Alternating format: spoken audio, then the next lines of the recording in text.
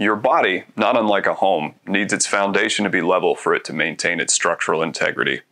When a home's foundation shifts, then at some point, be it months or years later, noticeable adverse reactions will develop. The same thing happens in the body. Anatomy 101 reminds us that the body is designed from the top down, not the ground up, so the foundation for your body is up here. When development's complete, then the balance of the head and neck is crucial to maintaining and sustaining your body physically.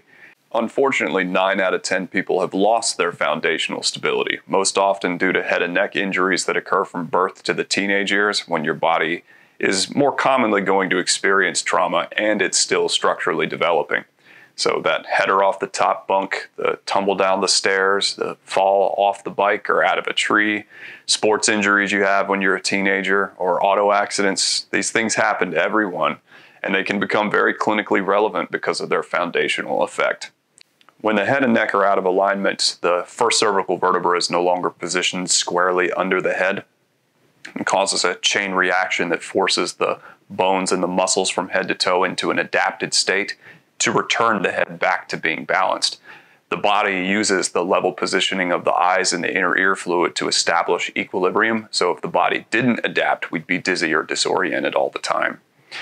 In the adapted state, what you'll typically see is one shoulder shift up higher than the other, one hip will raise up higher than the other, pulling the attached leg shorter by often about a half inch.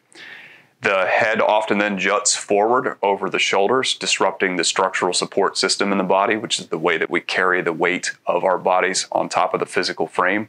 This shifting causes muscles that run along the left and right sides of the body, as well as the muscles positioned in the front and the back, to pull against one another instead of working in tandem as they're designed.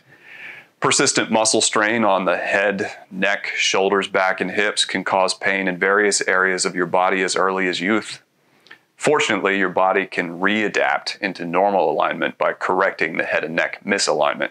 If you fix the cause, then you can find the solution.